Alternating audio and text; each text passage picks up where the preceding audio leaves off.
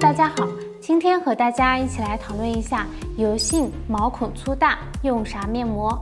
油性皮肤一般毛孔粗大，油脂分泌过多，易形成痘痘、粉刺、黑头。除了清洁的重要性，保养也十分的重要。油性皮肤毛孔粗大，用什么面膜会比较好呢？一、补水面膜。油性皮肤水油失衡，毛孔粗大，需要多补充水分，油脂分泌变少。二、毛孔粗大，彩妆残余、空气脏污容易进入毛孔，适当的可以使用清洁型面膜，保持面部清爽干净。